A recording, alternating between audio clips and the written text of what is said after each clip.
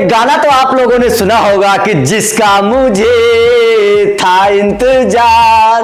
वो घड़ी आ गई। भाई ये काम यशस्वी जायसवाल के साथ हो गया है। क्योंकि यशस्वी जायसवाल को टीम इंडिया में चुन लिया गया है। और यशस्वी जायसवाल का जो सपना था भदोई के एक छोटी सी गाँव से आने वाला ये खिलाड़ी आज टीम इंडिया तक पहुँच चुका है। ज़ाहिर तौर पर देखिए एक सौ चालीस करोड़ के इस देश में हर कोई देखता, सपना देखता है कि वो टीम इंडिया तक पहुँचे, वो टीम इंडिया में खेले, नीली जर्सी पहने, लेकिन बहुत कम खिलाड़ियों का सपना पूरा हो पाता है। लेकिन यशस्वी जायसवाल ने भी ये सपना देखा था। यशस्वी जायसवाल ने भी जब बल्ला थामा था तो उनकी आँखों में भी ये सपना था कि वो एक दिन टीम इंडिया के लिए खेलें। और ज़ाहिर तौर पर अब यशस्वी जायसवाल का वो सपना पूरा हो गया है। लेकिन जैसे ही यशस्वी जायसवाल का नाम टीम इंडिया में आया, वेस्ट इंडीज दौरे के लिए जैसे ही टीम इंडिया का ऐलान हुआ तो यशस्वी जायसवाल ने एक बहुत दिल छूने वाली बात कही है। और उनका पहला रिएक्शन सामने आया है। आप लोगों को बता दें कि यशस्वी जायसवाल को डब्ल्यू के फाइनल के लिए भी चुना गया था, लेकिन तब वो ऋतुराज गायकवाड़ के रिप्लेसमेंट खिलाड़ी के तौर पर थे। प्रमुख खिलाड़ियों में से नहीं थे, लेकिन अब वो एक मैन स्क्वाड का हिस्सा है।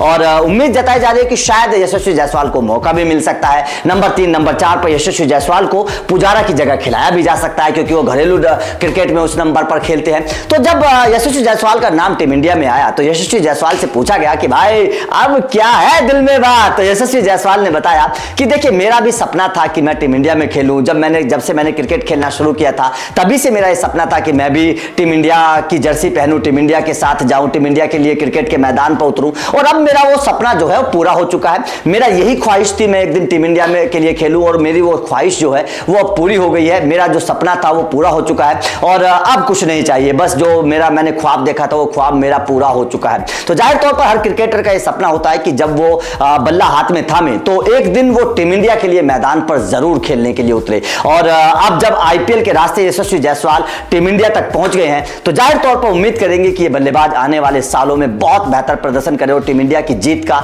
एक अहम हिस्सा बनकर दिखाए। क्योंकि साल 2023 यशस्वी जायसवाल के लिए बहुत कामयाब रहा। 600 से ज़्यादा रन बनाए। कमाल का प्रदर्शन यशस्वी जायसवाल ने साल 2023 में करके दिखाया। अपने आईपीएल करियर का पहला शतक भी लगाया। ज़ाहिर तौर पर जिस श्रेणी के बल्लेबाज यशस्वी जायसवाल हैं, जिस तकनीक के साथ वो खेलते हैं, जिस आक्रामक अंदाज के साथ वो खेलते हैं, अगर टीम इंडिया में थोड़ा सा लक का साथ यशस्वी जायसवाल को और मिल जाए तो ज़ाहिर तौर पर यह बल्लेबाज बड़े कारनामे करने की ताकत रखता है। तो आपका यशस्वी जायसवाल के सिलेक्शन पर क्या कहना है? कमेंट करके बताइएगा और क्या लगता है आपको? क्या आपको लगता है कि यशस्वी जायसवाल टीम इंडिया के आने वाले सालों में कितना बड़ा कारनामा कर सकते हैं? कमेंट करके बताइएगा। वीडियो अच्छी लगी तो लाइक को शेयर करिएगा। चैनल को सब्सक्राइब ज़रूर करिएगा, क्योंकि एक बहुत बेहतर और होनार खिलाड़ी की टीम इंडिया में एंट्री हो चुकी है। Thank you very much